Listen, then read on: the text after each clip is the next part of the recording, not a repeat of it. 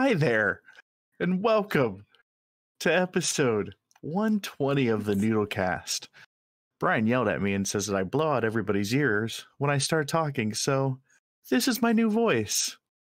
Yes, just like this. This is our new conversation. With me today is Jason. Jason, say hi to the people. Hello. How there are he you? is. Hi. Good. Thank, thank you for asking. Brian is with us as well. He hasn't quit yet. It may change after today. He's as strong into that. I as he's- regret saying anything. uh, uh, it's all your fault, bro. All your fault. Um, yeah. Anyway, what were we talking about? Oh, right. We got movie stuff. Water. We were talking were about talking water. you missed water. that conversation. Um, you might be grateful though. Um, let us move on through this this day. We actually have a couple movies uh, that Jason and I saw. Brian uh, did not go the route of the movies this week, and that's okay. He had other things to watch. I've been Um, watching some good TV. he binged. He right. binged some TV. He did. Um, peaceful Jared. Yeah, that's what it is. Hashtag peaceful Jared. I should know better to s- open my mouth at all and say anything. I mean, you know, it's all your fault. Henceforth, But I am just controlling the show and not talking in it. Oh, we know you're controlling it. In the end, Brian's controlling everything. Got the marionette um, strings. So before we get into movies, though, let's talk some some new stuff here, and uh, we're just going to kind of go in random order here that nobody knows what order we're going to talk about here. Um, so and first thing we're going to talk about. This is going to be Jason's topic. Let's see if Jason knows anything about it. Uh, Jason, yes. so there was some craziness happening in life the past couple weeks that we uh that we have That heard was an about. Understatement. yeah Gonna have to narrow that down, Jared. uh, so apparently uh gamestop uh Oh. is worth a lot of money well, right now maybe. I don't anymore. I haven't been was- following it. I think it's i don't know did it the bubbles kind of burst. At I mean, this it's point, right? it's a bit, you know, bit up and um down. the the the redditors out there caused quite the commotion Mm, in the stock market world. Um and and in a very quick period of time we have news in regards to the stock market uh scandal of gamestop. What are they doing jason already? Yeah, so um, we have this obviously crazy story that some people may or may not be aware of, where um, there's a particular uh, forum of sorts on Reddit, um, and basically this this forum is all about it's like Wall Street Bets, I think, is the Yeah, particular subreddit, Correct. and they are basically a, a group of like day traders, which is a term that you know was popularized in like the mid to late 90s where these kind of people would just you know quit their job and just start randomly investing in stocks on their own you know not through a broker or Like from their somebody- couch. like pretty much like once the internet was able to allow you to to trade on the exchange these people were like you know what i can i can do this and some of them are really good at it and became rich and some of them lost everything and work at taco bell trying Hey. to bring it all back together I like good Taco Bell. tacos jobs are important um, dialing it back They got the Baja Blast. Mountain Dew, so they're they're okay. oh book. man and it is way better from taco bell Yeah. than it is in a bottle or a can Yeah. like they did not get Yeah, it right when they nothing like bottled it fountain soda right but that's Yeah. another topic yeah but dialing it back to to where we're at here what were we talking about Uh, movies keep going Water. GameStop Water. uh, as a company has been like kind of a train wreck for the last couple of years. You know, the the world is changing and you know, over the last several years the adoption of digital media has has slowly gained more and more traction. We see it today with the movies that we review and watch. A lot of it, a lot of our consumption of media is digital. Netflix slowly, you know, they started as a disc exchange rental program. You know, you'd get a DVD and eventually a Blu-ray, or you know, I don't know if they dabbled into video games so much, uh, but at one point that was their that was their main thing. They'd send you a DVD or two, you'd watch it, drop it in the mail, they'd send you the next one on your list, and over time, you know, they began to host content digitally, and now, you know, they they like split off the DVD business basically to just let it eventually die Can and you have still get gone- DVDs? they still have it, but it's Mm. it's like a separate entity now. Hmm. Um, and I'm sure their revenue continues to plummet year over year because everybody's kind of moving on to the the streaming kick, and every Mhm. person that creates content you know all of the the media companies and studios they're all popping up their own shops you know we've seen it over the last couple of years with disney plus and now peacock and hulu and you know this myriad of of places but so basically that's what gamestop has been experiencing. Their profit has always come from you know used things that people traded in but people aren't buying things so they don't trade anything in. So their profits have you know been struggling to to capture what they had 10 years ago. Bring in wall street bets. So they have noticed that this stock was being traded in a way where basically people were buying up um, stocks and and trying to do what's called shorting which is basically it's it's a way of manipulating the market so that you can basically sell it while borrowing it and make a profit off of expecting the company to take a dive. Uh, so basically, you're betting that the company's going to fail, and if you're right, you profit a large amount. And these people realized that the shorting of GameStop was something like a, you know, 200% or some ridiculous number, basically meaning that people were trading in a number of stocks more than actually exist in the real world.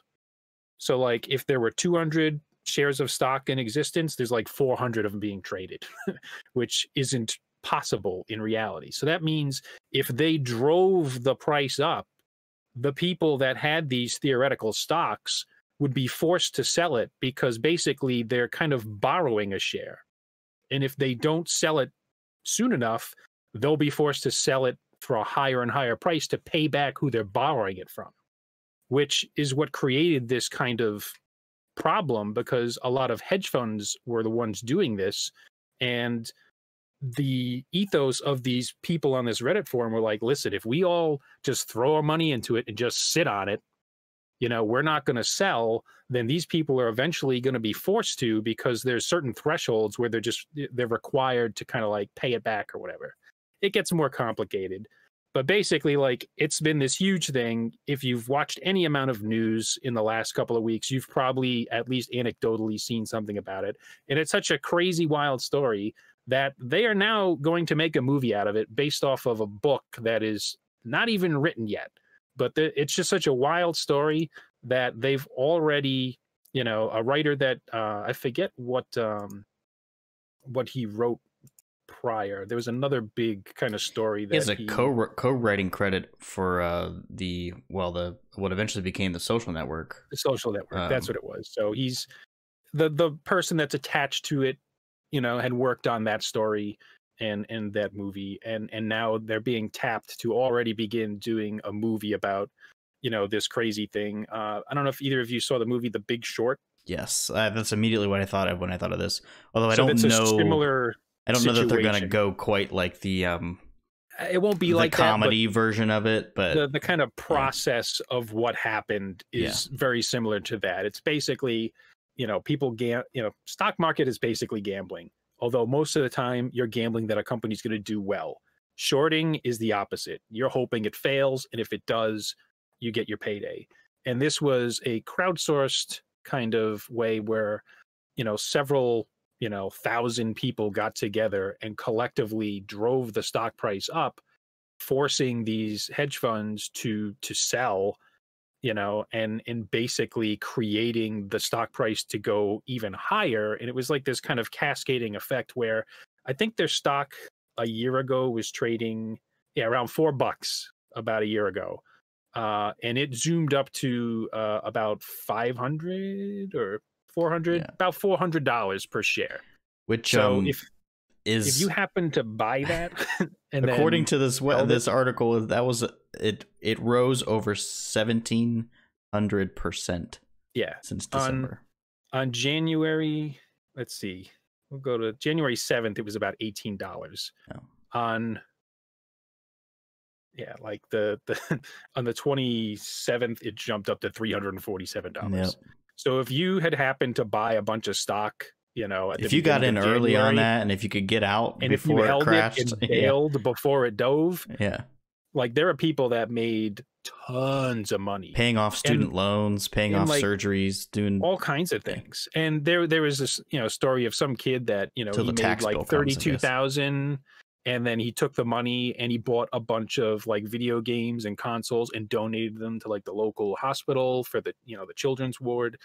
Um so there's some of that, but yeah, that's a huge pi- piece of it too is hopefully, you know, people realize that capital gains tax is a thing, you know, short term not good. so. But so this movie, um, it's got a lot of like clout attached to it. Um, I think people were expecting a lot. the the writer obviously having written the source material for the social network which turned out to be like a phenomenal movie and won Mhm. tons of awards and all that stuff um the producers attached to this have produced um things like uh like the the main one that i recognize is denis villeneuve's uh arrival Mhm. um but they've they've produced a whole bunch of other things um the uh, the funny thing about it to me i didn't know these people even had a a film company uh, but the winklevoss twins from Yeah, from the social from network Facebook.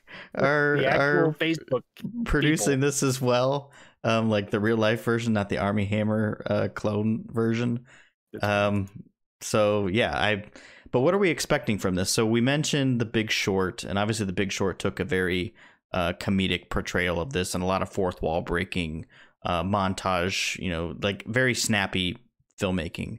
Are we thinking more of like social network style like uh serious I think it's drama kind of thing or? more of that. I, I would expect to see this from the point of view of probably one of the people that spearheaded the the kind of Reddit thread. I imagine you'd see the point of view of the hedge fund people that uh, are watching I'm their sure there'll business be a collective. You know, the I I can definitely see like that kind of like you know Seinfeld episode multifaceted viewpoint Yeah. situation where like you have this situation going on and you'll see it from you know the view of these like random people that are like they're like pirates storming the beach of you know a town to plunder it.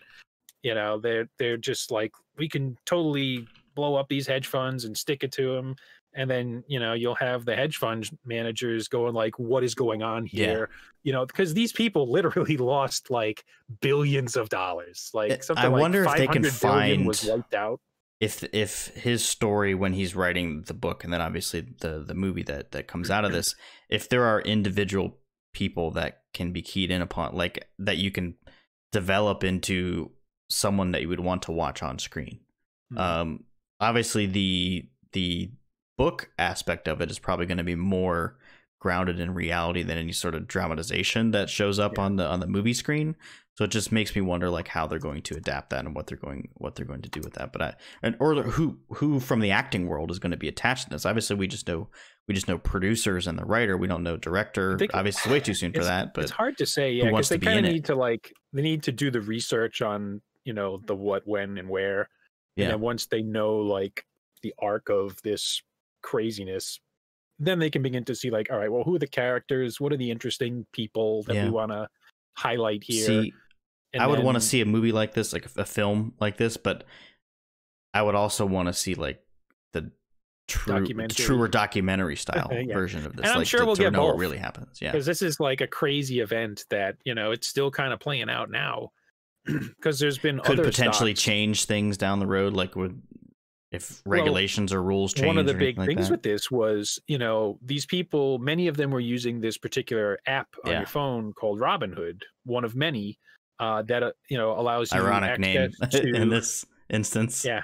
it allows you to do like no cost trading you Yeah. know so you can buy and sell and there there were no fees or whatever um and at one point uh that company uh did not allow them to buy more uh it halted their ability to purchase additional shares which kind of like hampered their plan for but seemingly no good reason at the time. Like I don't even know. I haven't kept up. I mean, that's there really that's was. part of this story that's still going to be sussed out. And Yeah. you know, there's talk that I think it's Citadel that may own Robinhood, and they're like another you know bank investment like TD Ameritrade or something like that. And you know, there's part of the thought process is like, uh, yeah, well, that company is actually kind of embedded with some of these funds that are getting hammered and they're basically like well we can't allow people to use our own app to basically cripple us. Yeah. and so uh, you know and now that all goes to like well isn't that manipulation and not legal? And you know granted the market gets manipulated all the time but now that you know these so-called commoners are doing it it's a problem. So it's it's going to be really interesting to see how everything you know boils out when the investigations dig in and they really figure out what the hell's going on but Yeah. uh, i think it's going to be a good movie no matter what yeah, I'm interested. We'll see what uh, who becomes attached to it and directing wise, and also starring in it. I'm I'm curious to see like how that how that unfolds. But Well, I'd seen uh, a name already attached to it. Um, oh shoot, what's his name from all the other Netflix movies that have come out? Noah um, Centineo or um, for directing, no, no, actor. Hmm. Um, and it that may have just been a, a very vague Popularized. rumor. Yeah. Yeah, I, I don't know for sure, but uh, I mean, it's still kind of early. Like, I mean, the the events are still unfolding. I see that. right? Yeah. so, like, uh, I think it's it's going to have a, a long tail before we actually get sure. you know uh, people pinned down to it. Yeah, but uh, it, you know, this is this falls in the same line, and as you guys were kind of talking. But my first thought's always been the Wolf of Wall Street. Yeah. not necessarily in that style, but that whole that was to me an exciting Wall Street movie. I enjoyed it. I've actually never seen The Big Short, um, but Wolf of Wall Street was one that always came to my mind when I first heard about all this going on. And actually, Jordan Belf- Belfort Belfont um, has actually commented on it as Yeah. well. He's put out a, a, his thoughts on it, so I thought that was interesting. Um, but uh, anyway, um, so yeah, we'll keep you kids posted when we know more about how this one comes comes up and what's going on with it. Uh, Brian, Yes. um, Star Wars, man, tell us tell us the new Star Wars news that we have.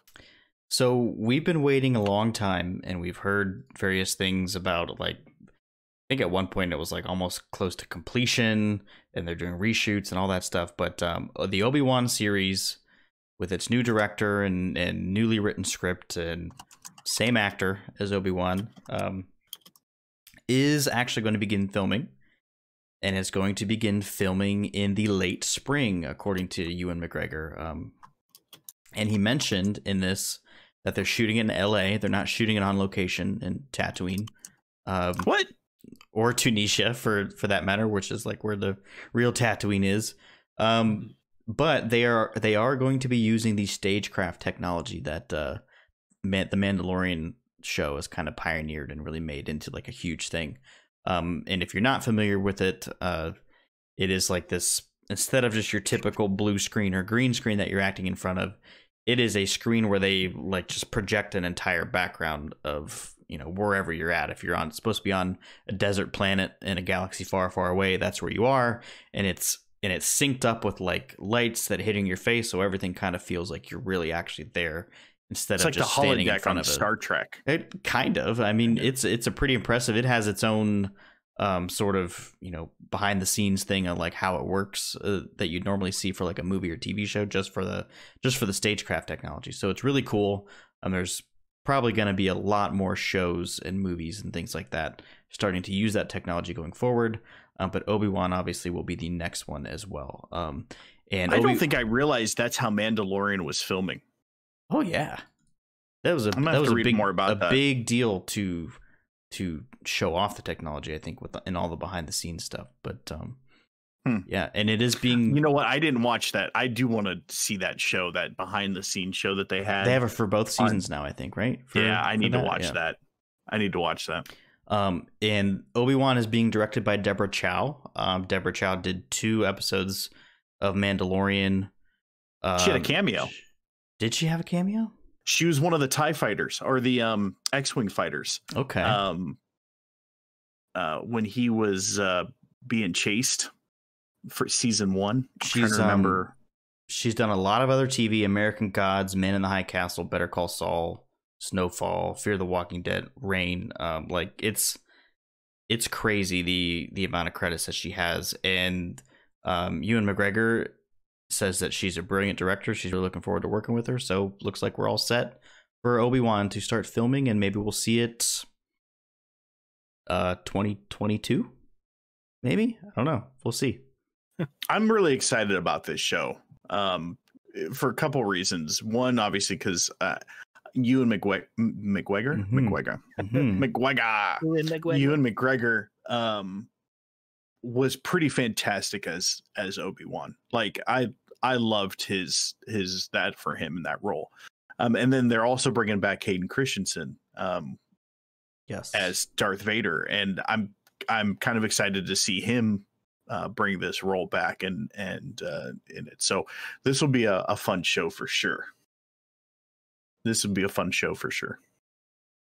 Um, i'd like to see I- hayden get some uh redemption for sort of like how his performance was perceived and the, and i guess at, on, on some level his performance wasn't all that great but certainly doesn't deserve like the the hate that he got for it i think and then yeah, like, I don't think he deserved that. but I think having a new production, having not having it be George Lucas, you know, behind the camera directing his, his scenes the way that he does, because notoriously not very good um, with actors in that standpoint. So, um, I really looking forward to see how he does in a character that he's already been under the hands of under the hands of somebody else. Yeah. Yeah. Well, and I think that uh, what Disney has been able to accomplish with The Mandalorian, I have really high hopes of what they're going to accomplish with Obi-Wan Kenobi as well as the remainder of the all the, The other shows, that we know are coming. Yeah. Boba I just- uh, I am at this point in time, I am just optimistic about anything Star Trek slash Marvel slash Disney. Like Ex- I just excuse you. Star Wars. Why did I say Star Trek? I don't know. I don't. I watched a Star Trek episode today. Does that count? Um No, Which Star episode? Wars. Yeah, no. Star Wars, Marvel, and Disney. Like I'm I'm just I whatever they You hurt say they're gonna do, you cut me deep with that one. you'll survive. You knew what I meant. He's it wearing wasn't a Star Wars shirt. Not only It only wasn't- that, just it wasn't like I like don't know the difference between the two. It was just a slip of the in the tongue. oh my gosh, calm down. R two cow, you guys are- judging you. Woo. Easy cowboys. Um Hmm. it was a slip. That's all. I know the difference. Um but I just I'm I'm they're good. What whatever they tell me they're gonna do, I'm like, okay, cool. I'm excited for that. Whatever that is, I'm excited for it. Um I just I trust them at this point. uh, and what they're capable of. And I know people have have some very mm, touchy feelings in regards to Disney's uh, control of Star Wars, but uh, uh, I personally am not one of those. I am not one of those. Yeah. But, yeah, this will be good. This will be a good one. Um, yeah, Obi Wan. It's coming, kids. It's coming. um, so awkward. Um, so we got nominations for Golden Globe. we got a Um, nominate. We got a Golden Globe, Globe nomination. We did. I I didn't I didn't know how Feel else to so break it to you guys. Um, and so I just decided to throw it out here on the show. Um, Well, just to breaking amazing. news, people. yeah, yeah. Um, we we have We- nomination. Particularly to the Golden Globes. Yeah, yeah. They multiple nominations, not just one. Multiple. Um, let's talk about some of these. Now, obviously, the Golden Globes are a little different than some of the other one award shows because it deals both in TV as well as movie, and so um, we'll maybe talk about some of the TV ones, but we're not going to go into all the all of them. Um, uh, the first one, actually, I do want to mention here is a TV because it's actually got a couple shows in it that I know are really talked about quite a bit. Um, and that's the best television series in the musical or comedy. Um, few nominations you have in there. You have Emily in Paris, which I actually don't know anything about. That's a Netflix show that I've never even seen pop up in my. The only reason I know that is because there was an article about the title and how you're not supposed to pronounce it Emily in Paris because it's a it's a rhyme, so it's Emily and Paris. Like if you were pronouncing it like a French person. oh, okay. All right. That's the only reason I know about the, the show. Interesting. Fair enough. Um, so you've got that one, and then you've also got uh, the flight attendant, which is um, the TV show on HBO Max with um, uh, Kaley. Um, I, I can never pronounce her last name. Is it Cuoco? Cuoco? Um, From The Big who Bang. was on Big Bang Theory for all those years, and so that's kind of where she she branched out from there after the show ended. Um, the Great, which I'm not familiar with on Hulu, uh, and then you've got t- Schitt's Creek, which is I've is heard of that. I've Schitt's heard that. Creek is massive. Um, uh, like I know, uh, most people I know have seen this show. I've watched a lot of it. Um, My wife has watched all of it. I've watched my some. wife is uh, was addicted to it. Um, her friends were addicted to it. Um, the things I've seen, there are memes, there are sayings. It's it's Yeah. very very well um well enjoyed by by many people. This um this next one's your baby though, Jared. which this and the last one's my well, I assume you want to talk about Um, it. Well, no, actually, Schitt's Creek, I think is. I if I were to bet, I bet Schitt's Creek wins this one. Yeah, Schitt's Creek is over. Um, the season, the the show has ended. if only because it's more widely viewed, probably because it. Uh, um, yeah, probably. You're probably right on that. Um, but but yes, Ted Lasso um is on a Apple TV. Um, if you have not seen Ted Lasso, go do it. Trust me. If you've never trusted me with anything else in your entire life, and we haven't. tru- and you haven't, trust me with Ted Lasso. Uh, um it is it is about a uh an american football coach um out of can or wichita state Mm. Um ted lasso who gets hired by a an english um football soccer um football. uh premier league team and it goes through this I hope there's a good of- reason for that, and that wasn't there is like a mistake. There is. Uh, well, the reason is, and it's not. I mean, it's it's in the first episode, so it's not taking anything away from it. Uh, the owner of it is um, the the the owner lost the team in a divorce to his wife, so the wife is now the owner of it, and she's doing everything she can to tank. A uh, this team. major league And- situation. Yes, yes. With that said, it's the the story and the way it goes is amazing. It's hilarious. It brought tears to my eyes at points. This show is amazing. Go watch it. Trust Okay. me You need Apple TV on Plus this one. Um, Yes. you do have to have Apple TV Plus. You do. Yeah. Uh anyway, so you've got that one. And then if you actually go down another one, um couple other ones actually in the the the next category, best performance by an actor in a television series drama. Um you've got quite a few in here as well that I that I've seen and that I, I think may may very well um, have a chance to win. Uh, Jason Bateman and Ozark. I've heard nothing but good things about Ozark. I haven't actually watched it. Um, that's on Amazon Prime. I think It's on or is that Netflix. Netflix. Um, I actually, it's a little overhyped for me. I'd seen it all. Um, okay. I think it gets a little too um unbelievable at at Oh, times. okay. It's trying to be like a Breaking Bad type thing, but I think it goes a little bit into the um yeah, I don't know. Interesting. Okay. Uh, Josh O'Connor in The Crown, which is on Netflix, and I know that's one that is very, very popular. Again, another one my wife is is huge in, and uh, many people in her circle and uh, you know uh, and generation circles, if you will, outside of that, I know watch it. Um, and it's about the it's about uh, Queen Elizabeth essentially. Um, and Well, so that that gets multiple uh queens or whatever. Like it goes through the years. Like decades. Does it? I thought Mhm. it. I thought it only stayed with Queen Elizabeth from the beginning. I, I don't mean, she's so. obviously been in multiple seasons. I guess that's true. It's different actresses playing her.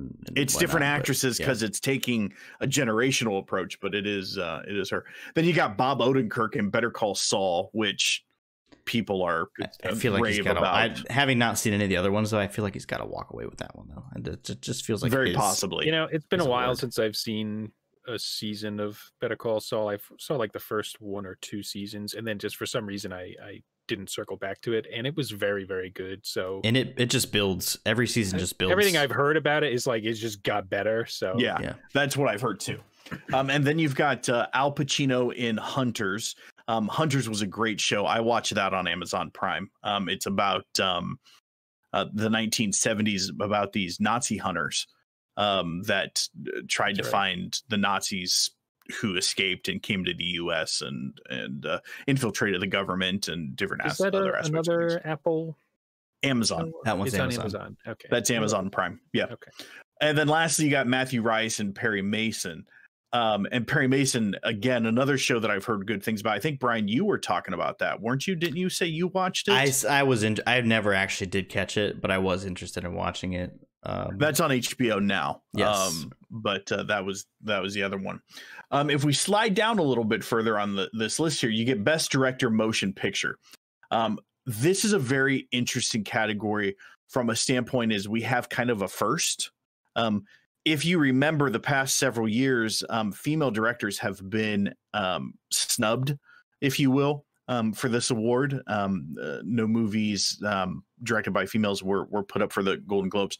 Uh, this year, out of the five, three of them are female, which is which is very good and and interesting.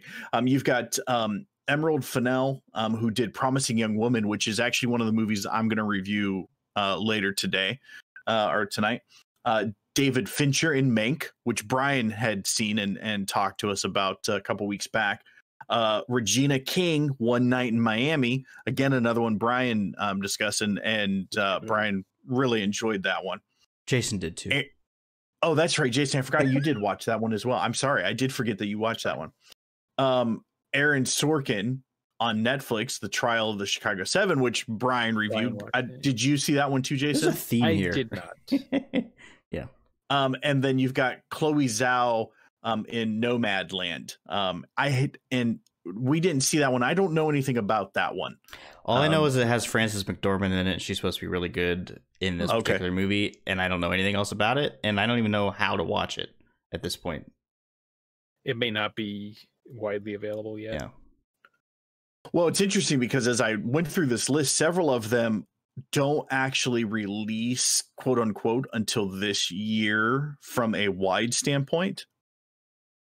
Um, Yeah. even though they're on last year's list. So they they must have released somewhere It- a lot of these small screened at film scenario. festivals and, and stuff like that before. Yeah. Um, Nomadland is playing in Boston. There you go. oh, okay, great. Take a drive. Boston. Yeah. Um, then we go down Best Actress in a Motion Picture, Musical, or Comedy. Uh, you've got uh, Maria Bakalova, who did uh, Borat subsequent movie film. Your that. She was favorite. good. Um, it was an amazingly terrible movie. Uh, You didn't even watch more than ten minutes. it's all you needed.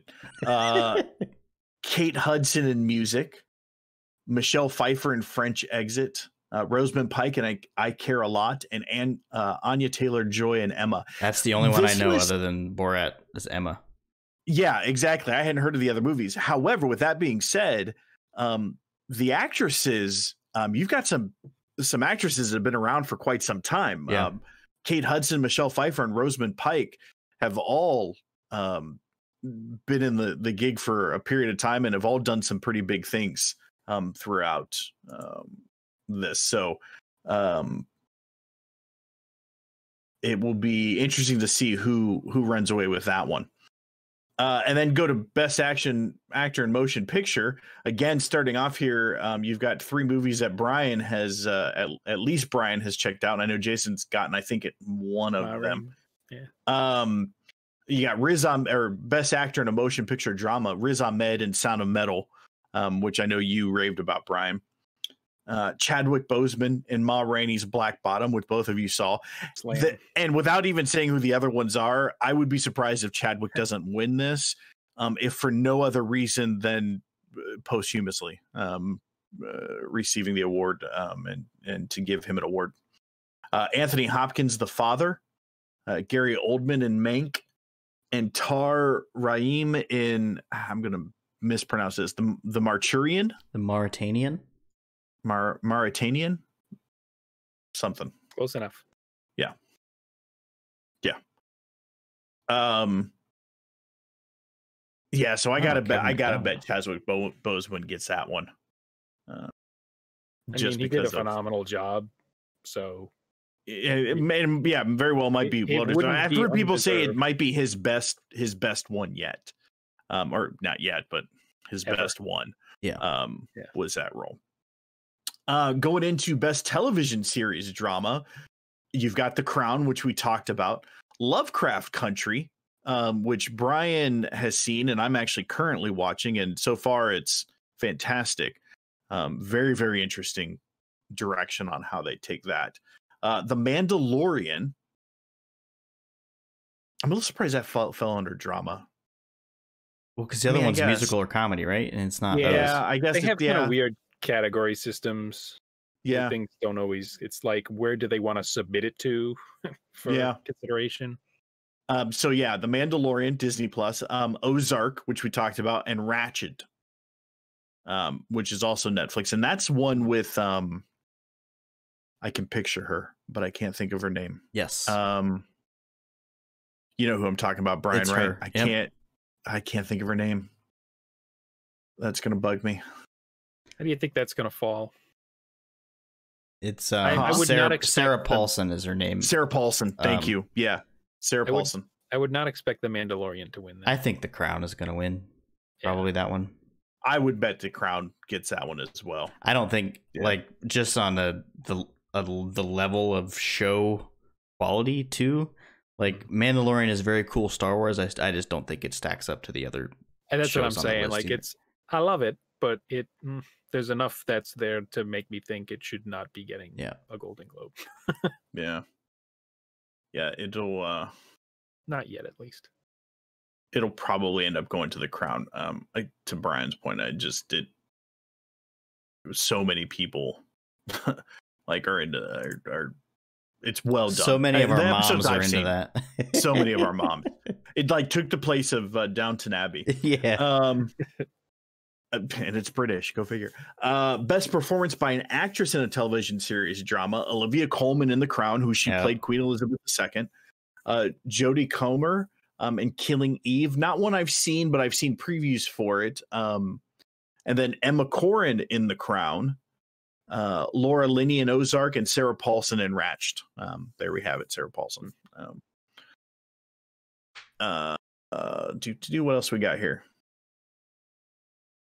Oh yeah, best actor in a motion pi- picture, musical or comedy. Uh, Sacha Baron Cohen in Borat subsequent movie film.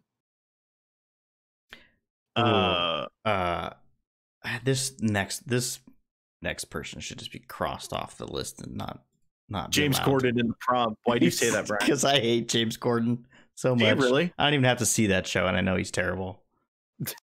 Yeah, Not terrible enough to get it. I mean, he got a nomination. uh, that just shows you that he didn't have as many that very many people to pick from. I suppose. That's how Um, it is. There you go. Though Hamilton after that. Ham- Lin-Manuel. Hamilton, Lin Manuel Miranda, yeah. Uh, Dev done. Patel, the personal history of David Copperfield, and Dev Patel we have seen previously in um, Yesterday. Um, he was in uh, Yesterday, and he was in uh, Tenet, He if I remember. correctly. wasn't. He was in. That wasn't him. No, I'm sorry. Yeah, though you just did a thing. Um, he was in Slumdog Slumdog Millionaire. Uh, Who I like. and he's. Was I racist? I mean, I'm not saying it. Um, Slumdog Millionaire was the first thing that I've ever What- known he was in. that was in. Not Dev Patel. Uh, I think it's close though. this is. Moving on. Andy Samberg in Dinesh Palm Patel. Springs. But Dev Patel, Patel. Okay, so he's a Patel, but Dev Patel. Dev it's Patel. is also going to be in a movie that I thought would have been released by now, but I guess they're holding it off for COVID reasons. Um, The Green Knight, which is a, retelling of the Gawain and the Green Knight. Um, so I'm really looking forward to that one, and I hope he does good in that too. But yeah, I actually think um of these, the next one you're about Oh, to say, I would I would pick. You, you one. saw yesterday, right, uh, Jared? I did see yesterday. yeah. yeah. Yeah. That's the Tamesh Patel. I was not racist. I was just getting last names Yeah, combined. or sorry, confused. sorry to call you out on that. That's all right. Jerk. Uh, and then Andy Samberg, Palm Springs. Uh, which again, Which Brian. I loved. Yeah, I I don't being on Hulu. I feel like not enough people would have seen that movie. Um, but yeah, it was really good. That was a good Yeah. movie. Um, so there you go. Uh, best actress in a motion picture drama: Viola Davis in Ma Rainey's Black Bottom. Uh, Andra Day, The United States versus Billie Holiday, which I don't know anything about that one. No, I don't. Not familiar. uh, Vanessa Kirby in Pieces of a Woman, and I don't know anything about Pieces of a Woman. Woman, I do find interesting Vanessa Kirby. Um, the the last I saw Vanessa Kirby, uh, was in. Oh yeah, it was Brian. Uh, no, it doesn't it always have to come back to the fast Absolutely. universe. absolutely. Uh, in uh, You don't even know. You're not a fan. You're not a. You don't even know what it's called. Hobbs and Shaw. Hobbs and Shaw. It's such quality. How do you call Uh, yourself a Hobbs and fan? Shaw. It's Hobbs and Shaw. Uh, Fast and Furious presents Hobbs and Shaw. uh, and then you've got Fran- Frances McDormand in Nomad Nomad Land and Carey Mulligan in Promising Young Woman, um, which again we'll talk later. Uh, best mo- best motion picture drama, and again I don't, I I know, I, well, the father, which I I don't I don't I'm know. that assuming he's a don't know what that priest. I'm assuming Anthony Hopkins is a priest. Is that what it is? Uh, um, maybe not though. He's done that before. I, I googled it. I, I don't. Didn't he play the No, Pope he's not. He is not a priest. He's a uh, a man refuses all assistance from his daughter as he ages, as he tries to make sense of his changing circumstances. Blah blah blah blah blah blah. So Gotcha. he's not a priest, as far as I know. uh Mank, uh Nomadland, Promising Young Woman, and the Trial of the Chicago Seven. Um, what's interesting is is how the Golden Globes divides these categories, Hmm. And so they, you know, this one may win, this one may win, but then when you go to the Oscars, they're combined uh, back into it. Um, so that's it's interesting to see that change, and and maybe that's a good thing um, because it gives an opportunity for um, for both to to get it. Um, best actor in a supporting role in any motion picture: uh, Sacha Baron Cohen in the Trial of the Chicago Seven. Um, uh, Daniel Ka- Kaluuya uh, in Judas and the Black Messiah. I'm this is one so that it- excited for this movie. this is one that's not wide release yet. Um, Hmm. it'll it'll hit wide release here this month. yeah, and uh, Um, HBO Max at the same time too. So yeah, you watch on yeah. Um, and then you have Jared Leto in The Little Things, um, which uh, uh, Jason and I both saw this week. Uh, Bill Murray on The Rocks. I don't know anything about that one. And Leslie Odom Jr. in One Night in Miami, not Hamilton. One Night in Miami. Yeah, sure. Yeah. Um, we're gonna skip down here a little bit. Where are we gonna go here? Hmm, hmm, hmm. Oh, we'll go here. Best motion picture, musical or comedy. Uh, you've got Borat subsequent Clearly movie film. winner. Slam terrible. Uh, Hamilton, um, which Probably know. the actual winner. uh, Palm Springs, uh, music, and the prom. You know, I looked up music as we were talking about it for the the best actress one. Yeah. Not that this is like the be all end all of all things like how good a movie is, but this movie Yeah. is nominated for best picture musical or comedy and it is sitting at a whopping 29% on Rotten Tomatoes. So Oh, that means it's actually a really good uh, don't critically acclaimed movie. I don't I know. mean, the- 20% the audience e audience- score by the way. yeah, exactly. yeah. Audience and like They're in they're in sync with this the audience and the the critics are in sync on this it will one. Sweep Oh, well, there you go. the Golden there you go. Globes. Yeah. There so. I don't know. Uh, best actress in a supporting role in any motion picture. You got Glenn Close in Hillbilly Elegy. Um, Brian that's the it. one you saw, Brian, wasn't it? I did. Yeah, that you actually did not uh, like so much. I didn't. I Glenn Close was fine. I, but yeah, I don't know. I didn't care for the movie. um, Olivia Colman, the father, Jodie Foster in mm, the the movie we can't pronounce. Mauritanian, Mauritanian, uh, Amanda Seyfried in Mank, and Helena Zengel in News of the World, which she played the little girl um, that was with Tom Hanks the entire Yeah. time. So that that's um, I, you know, props to her for getting the the nomination Yeah. on that one. It's uh, her first major movie. Um, I don't think she's has enough in there to win. I feel, and having not seen the father, but because Olivia Colman is just awesome in literally everything that she's in, I feel like that's yeah, Olivia Colman's for pretty her. fantastic. but yeah, She's pretty fantastic. Uh, best screenplay motion picture. You've got uh, uh, Emerald Fennell in Promising Young Woman, Jack Fincher in Mank, Aaron Sorkin, The Trial of the Chicago Seven, uh, Florian Zeller and Christopher Hampton for The Father, and Chloe Zhao for Nomadland um, on that one. Um, and then yeah, I think that's oh, best motion picture animated. The Croods and New Age, Hmm. and this this really seems to fall into any any animated movie that was made uh that was any full length animated movie. That's kind of feel what I like got from this. part of the difficulty with you know the award season right as we're we're rolling into it here is that the number of movies that actually made it out into the wild last year is significantly less than what we would have expected. on the contrary, I actually think there's quite a few that I'm not made it saying that there aren't good stuff here. I was I'm just- surprised by how many I have not seen that are on here that were clearly released in some capacity. Yeah, we missed them somehow. Yeah. We missed we missed him somehow. Yeah. Um so uh best motion picture animated The Croods and New Age, Onward, Over the Moon, Soul, and Wolfwalkers, What the which heck is that? Wolf Walkers I've seen previews for on Apple TV. I don't know if it's on Apple TV or it's, or if it's just rentable on that. Um, but it looked very interesting. The Oh, that has a- animation looked It looks like a storybook, actually. Apple TV Yeah. Plus. Yeah, that the is an Apple animation was um was pretty fantastic. Yeah. Yeah, I'm gonna have to check that out. That looks pretty cool. So anyway, so yeah, that's what we got. I'll Um, root for lots that of one. different- Wolfwalkers. I'll I'll root for that one. I haven't even seen There you it. go. I just like that. Well, the animation, just from the animation alone, I was entertained. Um, um, just seeing the previews. I, I haven't watched the movie yet, but I I do kind of want to. Um, Okay. so yeah, so lots of different nominations, some interesting movies. Um, you know, some that I don't know if they're if they're there because there's lack of other things to put in there, or if they're there because they're actually like legitimately good. Um, you know, i.e. James Corden.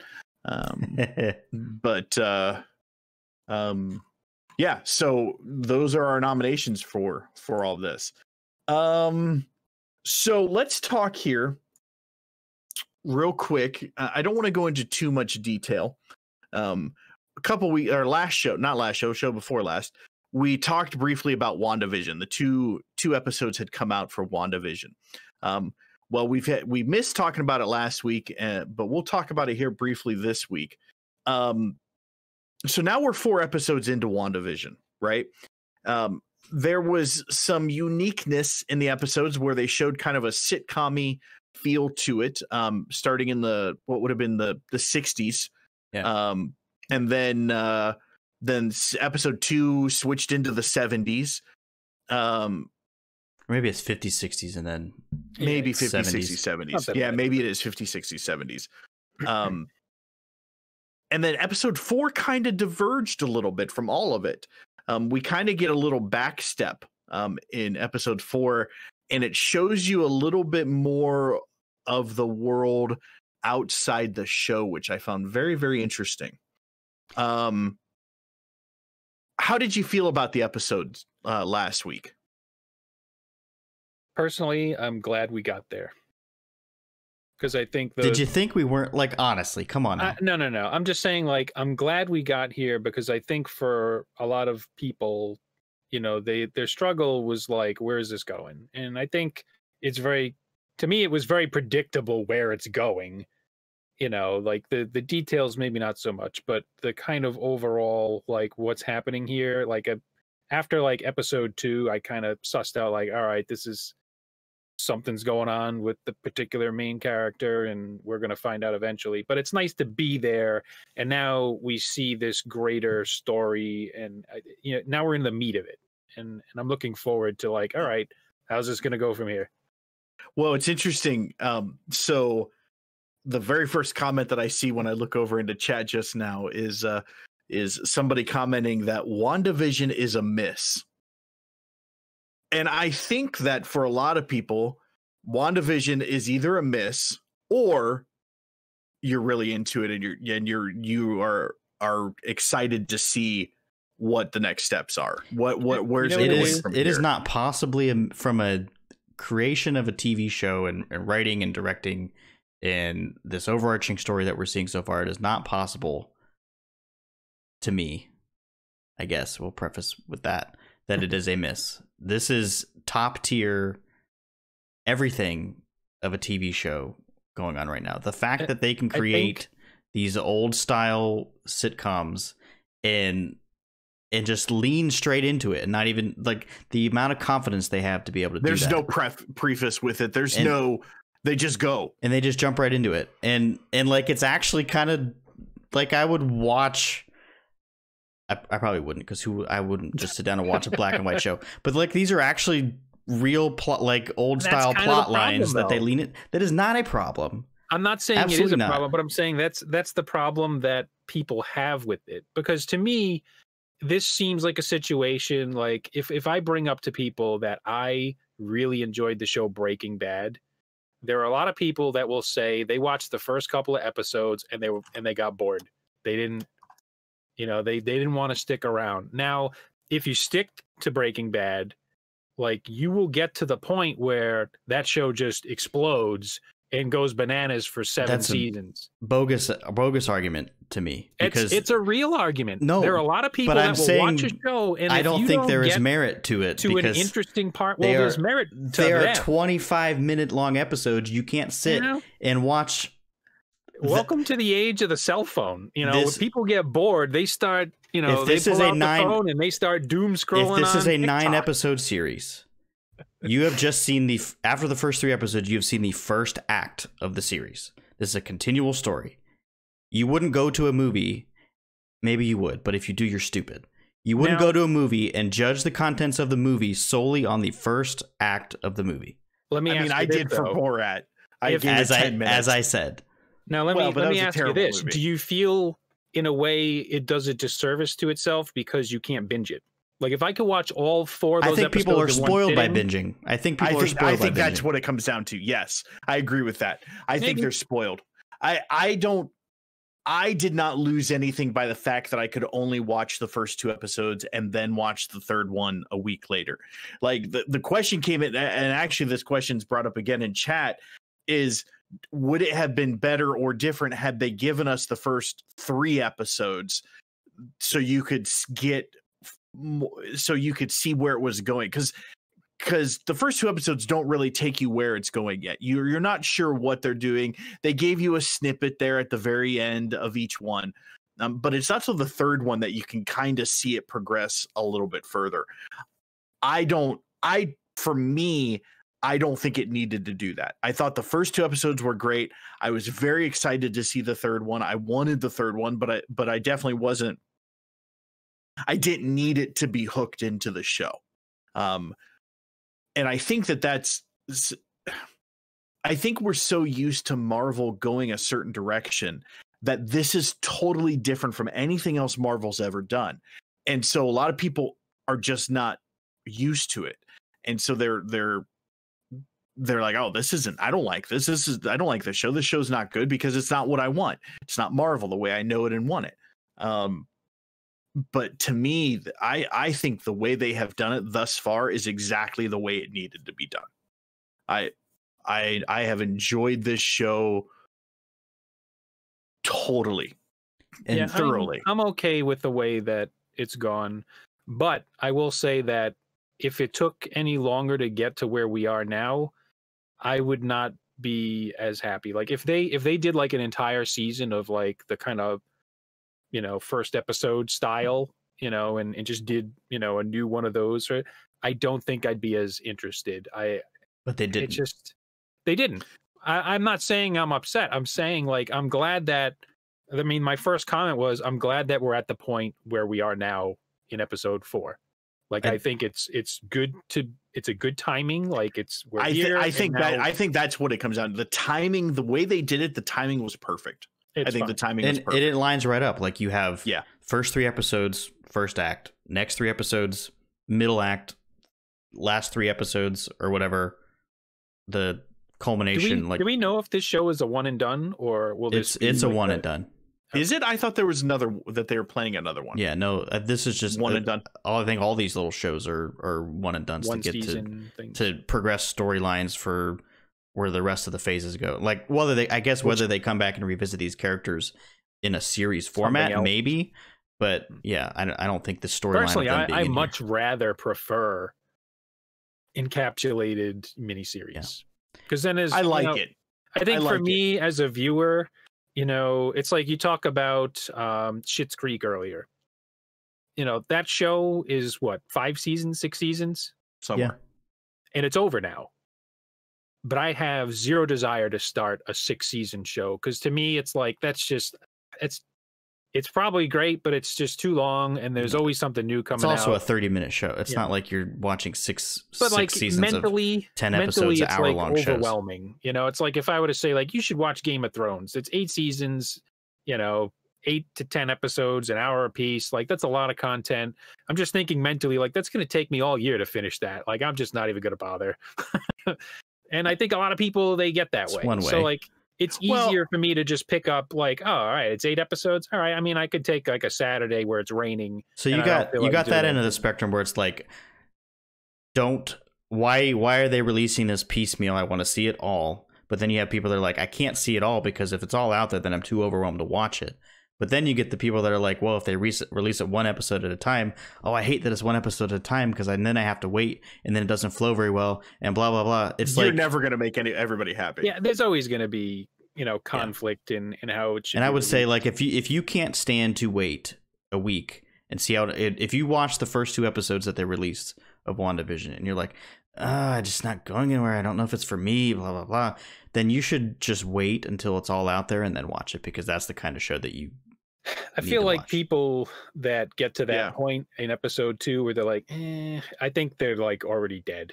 like if they don't, if they're not into it, you know, the chances of them circling back to it, you know, for I mean, that's the reality of how people are. Like it either interests you or it doesn't. And for some people, like they saw the first two and like, you know, it's going to be real hard for them to to to you know, you're going to have to say like, no, like trust me, like power through another couple episodes if you're not hooked. You know, like I don't know what to I tell mean, you. the quality of the performances in general is enough to like at least Yeah. keep me hooked. Like the and Yeah. some of the scenes, even if they're not dropping plot bombs on you in the first episode, it's been a couple weeks, so I'm going to talk like first episode of the season when they're sitting down at the table, and the one actress who was on 70 show or whatever is in Yeah. that, and her husband starts falling over choking, and she's like, "Oh, just stop it."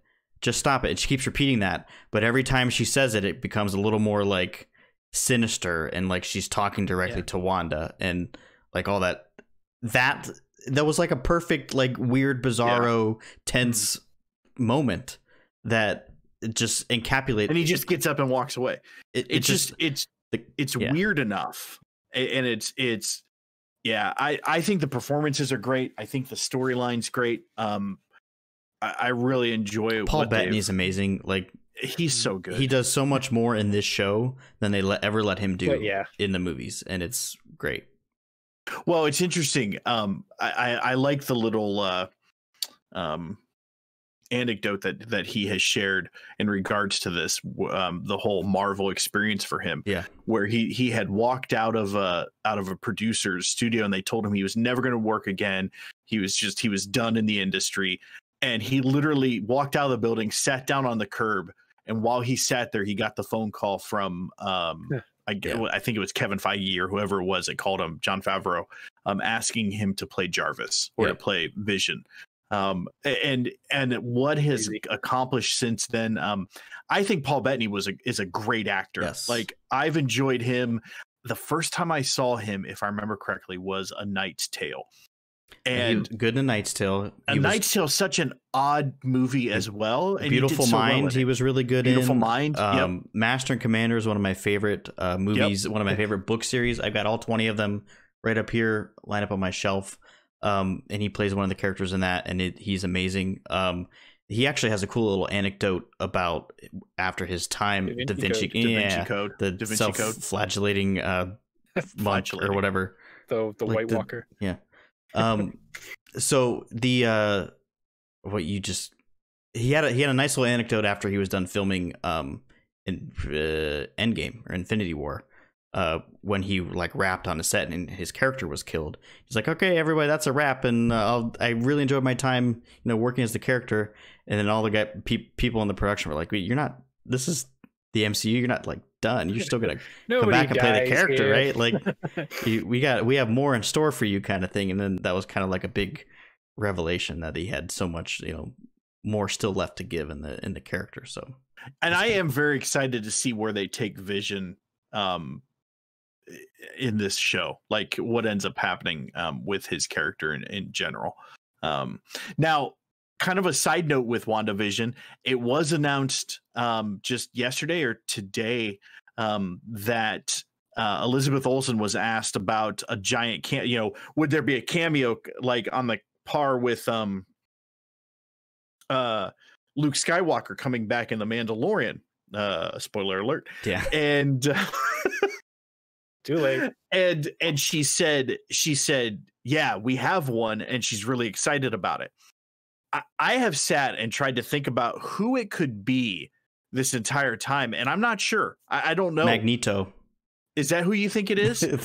that would so I've he's I her dad heard- right right. Well, yeah, and it in- would in introduce the x-men into the mcu i mean that's like a far out like i don't even know if it has a chance of happening but that's, heard people that's luke skywalker um, level to be I've heard people say um um Evan uh oh yeah evan peter or uh Evan Peters, yeah, is that his name as as Quicksilver um coming back you know because of the multiverse type thing. Uh, No, no, Um, actually, Evan Peters is Quicksilver in the Fox.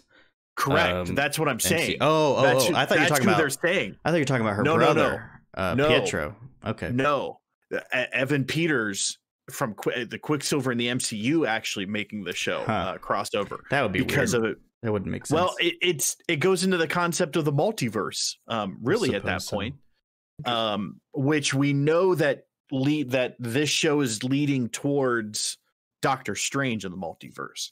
Um, so that's and I think uh, um, really, Spider Man. really the better Quicksilver if we're if we're comparing Quicksilvers. Uh, to me, Oh, he was good. better Yeah, I thought Evan Peters was great. not necessarily like the Um, actors, but it, just the use of the character. That Correct. the scene in Days of Future Past uh, in the kitchen with the time at a bottle playing, and yeah, yeah, yeah. It was they Those- do they do it in Apocalypse, but it's so much better in uh, Days of good. Future Past. but I just I do think that uh, to Brian's point, I think it's going to be something to that route. I don't think it's going to be a character that we've already seen per se. Um, I don't think it's going to be you know Well, an actor that we know in the MCU if- right now coming into it. If we're going multiverse, and we know, or don't we know, that, or we think this leads into the next Spider-Man, right, or something? But But It does lead into Spider-Man and uh, Doctor Tobey Maguire and or uh, Andrew Garf- Garfield. Andrew Garfield, Garfield. There you go. Absolutely. swing into the rescue. Absolutely, I, I think it's very possible. I, I think I think it's going to go along the lines of the multiverse. I think something from the multiverse Tobey is could coming like into this. Look like his character from. Well, they're out of the black and white now, I guess. But the Pleasant, his Pleasantville character, but he's Peter Parker. Oh, wow. um, I think that's the route it's going to go. Um, and they haven't said what episode it's going to be, but they've said that it's it, that we are going to see a big cameo like that, and that Yeah. Elizabeth Olsen is very very excited about the cameo. Um, kind of a side note too, um, in regards to people showing up in other shows.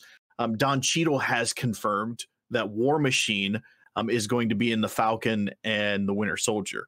Um, so we're going to get him uh, in that as well. So lots of good stuff here still happening with Marvel um, and everything uh, that that we have with Marvel.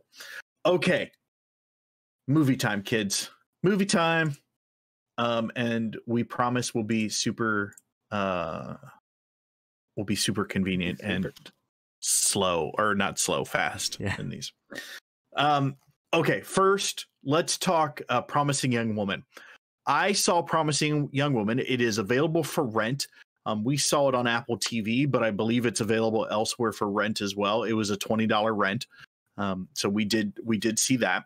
Um, Promising Young Woman um, has stars Carey Mulligan, um, and then it has multiple other side um, uh, cameos, if you will. Um, Adam uh, Adam Brody is in it. Um, Clancy Brown, Jennifer Coolidge, um, uh, Laverne Cox, um, uh, Max Greenfield from uh, uh, New Girl, um, Alison Brie, uh, Molly Shannon. So there's a lot of different cameos within this movie, and it's the story of a of a woman who um, had a very traumatizing past. Uh, her and her best friend, um, to the point. Um, well, I won't. I won't go into detail because it it does kind of ruin a, a plot point um, in it.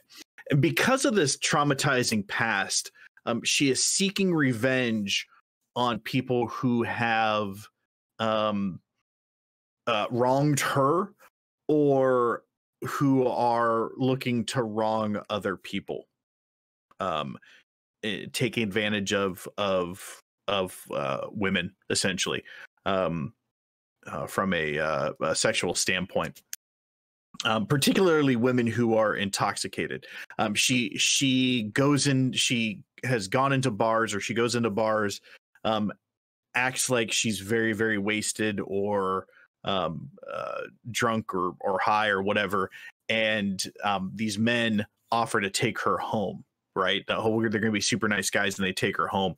Well, they end up not, not taking her home, and they'll you know try to take advantage of her at the house. And so she's she's seeking revenge against these these guys. Um, I, and that's really kind of the I that sounds very basic and it's very simple um uh plot, but I don't want to go any more in the plot because, quite frankly, anything else is going to start ruining the the points, the storylines uh, of this.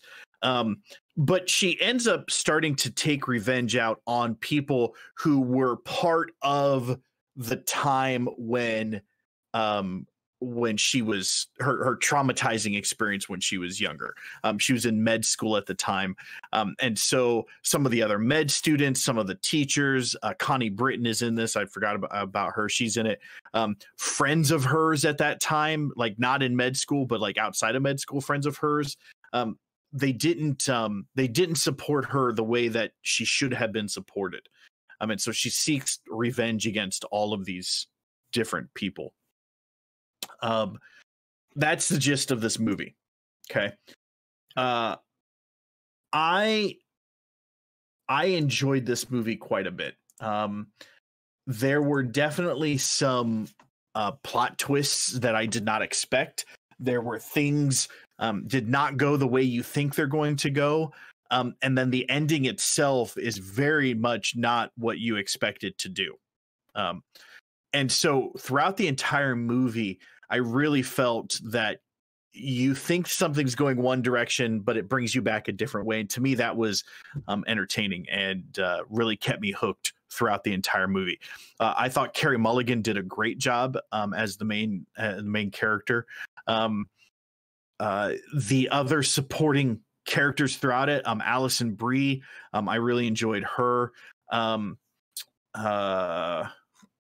Oh, what's his name? Uh, Christopher Mintz Plasse. Um, he was in it oh. um, for for a period of time. So she's the only one that's in it exclusively, and then everybody else is just cameo based um, throughout the the entire show. Um, Laverne Cox did a, a, great job. She plays her boss at a coffee shop, and they're friends at, at this coffee shop. Um, and it just uh, really well done uh, from that standpoint. Um, I understand why uh, the screenplay is nominated for a Golden Globe, and I get why it was because again, the twists and turns that they take you on throughout the entire movie um, are very, very cool. Um, it's it definitely makes you it makes you think, and that's what it's supposed to do. Um, you know the the you know we had the what last year, two years ago, three years ago, uh, the Me Too movement. Um, that you know women are not being heard uh, in regards to their you know if they're um, sexually assaulted or raped or whatever the case may be, and and they're not believed. Um, and this this takes that idea and that theme um, throughout the entire movie. Um, so that that it's it's interesting to watch and and to see what ended up happening to Carey Mulligan, what ended up happening to her her best friend, um, and how people's lives are affected um, at different times during um, these scenarios and these situations that that people get get put into. Um, and it, it basically goes back to the idea of, of just because a woman happens to be drunk and um, intoxicated does not mean that she knows what's going on and What- that she is Consent. and- coherent and consenting Yeah. to the situation that she's in and so um, that's i think that's the the main point that this that this goes through um, with this movie but um, i do recommend it I, I think it was i think it was really well done i enjoyed it i enjoyed it quite a bit I had heard good things about it uh, prior to you Yeah. seeing it. I I wasn't sure if we had planned on like if anybody had, of us had planned on watching it or whatever, so I didn't rent it. But um, Yeah. and obviously it it's up was, for uh, awards and such. So yeah very well done very well done movie um and so i i uh you know it's interesting the the the director of this um she kind of she kind of ticked off people a little bit uh, that maybe that's not the right word but so she commented about the revenge concept and the revenge movies um and she particularly brought up john wick and the idea that this guy goes on a revenge because of somebody doing something to his dog and he They goes and killed a puppy. They deserved it. yeah right and so he he goes through all this this process and these movies are based off this this whole concept of revenge her movie is also based off of revenge but it it's it's not it's not this go shoot him in the face and and you know it's not yeah, the same thing and so it doesn't she was commenting I, I don't remember the exact wording but it's essentially meaning not all revenge movies have to go the way of john wick um and so that's I imagine there's probably something she was responding to, or people out there saying like, I don't know whether it's unbelievable that this kind of thing is. It, that there's a It movie might have been, depicting yeah, this or something remember. like that. Like, Well, John Wick can go off and do it because the dog got killed, but this lady can't go off and do it because of you know her traumatizing experience and stuff like Right. that. So Mm. Right. But it was a, it was a very interesting uh, movie. So I highly recommend it. If you get a chance to see it, um, I say go for it. Watch a promising promising young woman. Uh, Cool. So there we have. Nice. Yeah. Uh, Jason, you Yes, and. I saw the movie uh, The Little Things Mhm. um, on HBO Max. Uh, share with us about The Little Things. Yeah, so the little things, as you said, is on HBO Max as well as in uh, theaters limited currently, um, and it's got a pretty, you know, pretty big cast. Uh, it stars primarily uh, Denzel Washington, uh, Rami Malek, and Jared Leto. Um, so some pretty big, you know, high power names involved in the cast. Um, and it basically, you know, kind of primarily revolves around Denzel Washington's character, uh, Joe Deke Deacon uh, who's uh, he's like a deputy sheriff from a, a small county uh, outside of Los Angeles, and he kind of uh, gets sent on a let's say like a errand task to to go to the the greater Los Angeles County to to kind of pick something up, um, you know, some evidence or or, or whatnot, or and um, you know along the way he's kind of uh, it's clear that people know him in in the Los Angeles County police scene, and uh, you know, not not apparently always in a popular way, uh, and you kind of quickly unfolds into him getting involved in uh, the greater plot of the movie, which is there is uh, this series of of murders that have occurred by a serial killer that uh, Rami Malek, uh, his character as uh, kind of a lead detective, has been uh, you know heavily investigating. And you know the public is very concerned because it's you know multiple people have been killed you know these you know uh, young women have gone missing. And you know it's a big high profile event. And you know he's kind of there just to to pick something up and you know very quickly he he gets um, kind of drawn into this and you you begin to find out that he he used to work in this you know uh, precinct or, or whatever you want to call it. And um, you know he has at some point decided to kind of uh, not not retire but to to kind of move out of the you know sort of big city scene and into a a, a quieter less you know we'll say stressful environment of this kind of smaller you know uh, sheriff position, deputy sheriff position. Um, and and so when he kind of comes back into this situation, you know, some people are happy to see him and others are not so happy. Um, but he ends up kind of tagging along uh, as one of these uh, events is being investigated, and very quickly, you know, kind of gets sucked in uh, because of his prior um, kind of renown. He was known to be a good investigator and detective, and so the the person played by Rami kind of intriguingly says, "Oh, this guy was used to be some big, you know, hotshot or whatever. All right, well, let's see what you can dig up." And and it kind of goes from there. Um, the story is is to me, I thought it was really interesting. Um, I I liked uh, Denzel Washington's character in this. Um, I thought he was pretty cool, cool guy, and um, eventually you come to meet uh, Jared Leto's character, who ends up being one of the uh, like main suspects at some point. Um, and he kind of plays a crazy looking uh, Unabomber-ish kind of guy. Um, and it's just um, it's it's a it's a good kind of cop uh, detective story, uh, and a lot of it is involving him kind of uh, digging into his backstory, and and as you go along the movie, you learn more and more about uh, his past, Denzel Washington, uh, as as this detective, and and you find that these cases that are occurring, you know, uh, have familiarity to to what he has previously investigated. Um, uh, Rami Malek, I thought, did a, a pretty good job. Uh, at first, I I didn't know if I was going to like him just uh, as a character, but he kind of grows on you. Um, and there's other side characters that that get involved uh, in the precinct. The you know mortician. Um, I'm trying to think if that's let's see. We have uh, Joris uh, Jarsky is a detective that kind of plays a small part. Uh, Glenn Morshower Captain Harry Davis is kind of the the boss guy that doesn't really like Denzel Washington's character being around. Um, overall, uh, it's it's an interesting movie.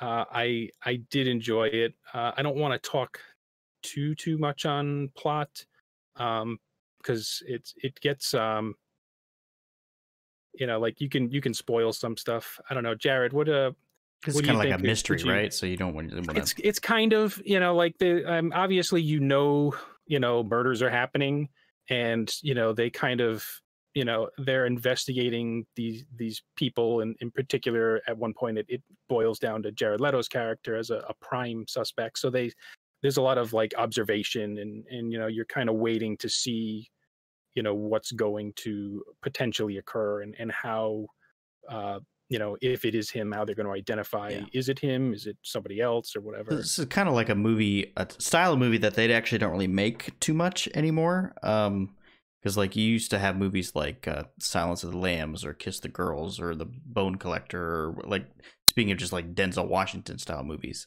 Yeah. Um. So it's interesting. It's an interesting kind of throwback, I guess, to to that era of like yeah 90s early to late 90s sort of you know detective thriller now all that kind of stuff is on TV. This now. actually takes place in the 90s. Oh, okay. Well, there it's you go. Period yeah. piece. It's, it's, it's like, meta. Yeah. I didn't know it was so yeah, meta. It's like 90. I, I, would peg it at like 95, 96. Just well, they, some of the they, it opens in 1990.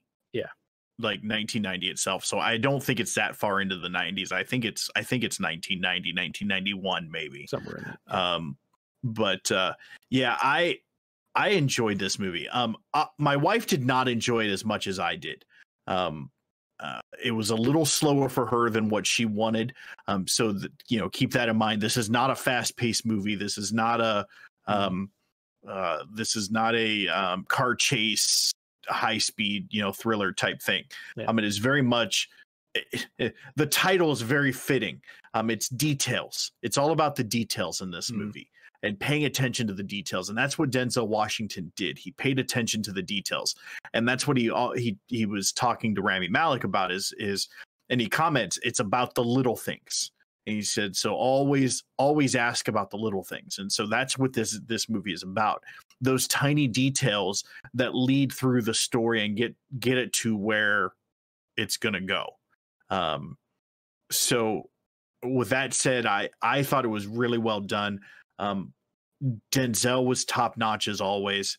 Um uh Rami Malek, um, he was a character kind of to Jason's point, um, that you first kind of start off thinking that you're not going to like the guy um, but then he actually he he grows on you and he goes a, a certain path um, jared leto plays a, a, creepy dude really well well so uh, of the three in the cast jared leto's the only one that was nominated for a golden interestingly Globe, right? enough. So interestingly enough. like yeah. deserved? I, I thought i mean i'm not going to say it wasn't deserved. Um does he have more meat than the other two to not no. Yeah. He doesn't. Yeah, I don't know is, if he.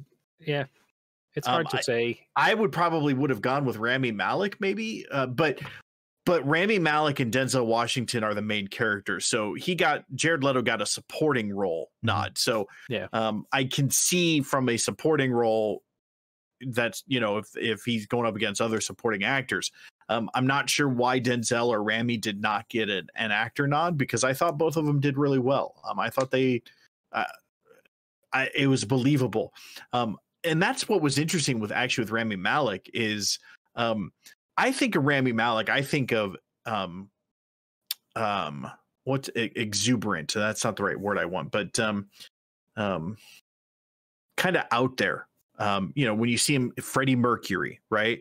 Um, I also think of him in uh, uh, the Twilight movie series. Um, his role in that, he was it, he was a he was a proud he to have never watched those. Eccentric. that's what it. That's what I want. I He's a little eccentric in some of his his portrayals and different things. He's not in this. Um, he plays a down to earth family man. Um, he is a a little cocky it's, um uh, it's interesting detective. Their their styles as detectives are very distinct. Yeah, you know, like Rami Malek's character is kind of like that kind of new age you know there this is the age where like things like dna and you know like fingerprints are done in like computer scanning. So it's kind of like the new age of fighting crime but it's like, still old school like, when you, like when they, they went and talked still, to the one guy yeah. about the the fingerprints and he's all like yeah.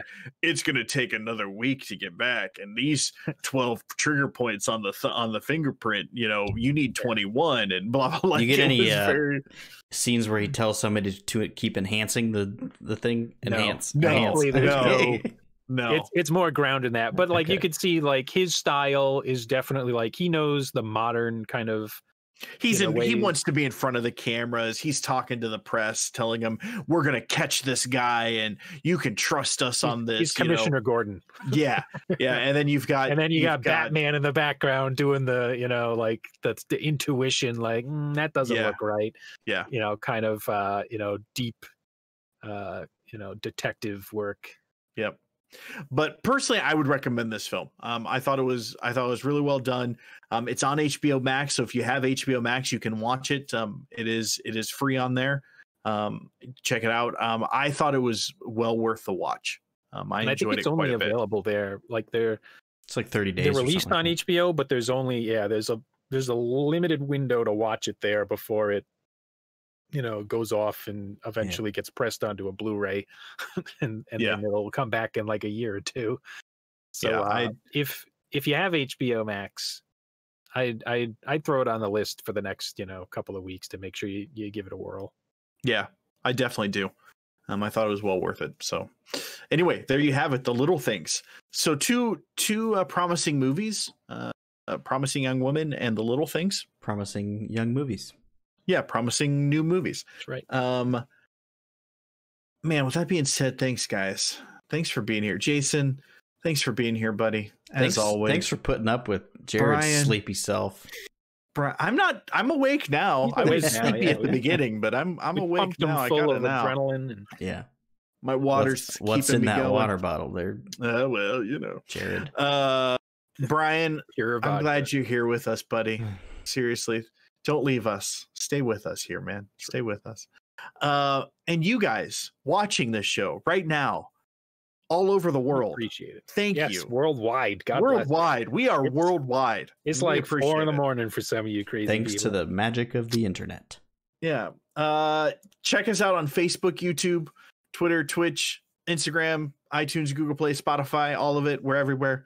Um we are excited to be here. We love you guys and uh we'll be back next week with another episode of the Noodlecast, episode 121 to be specific. Uh and we will check you guys later. Have fun, be good, stay out of trouble.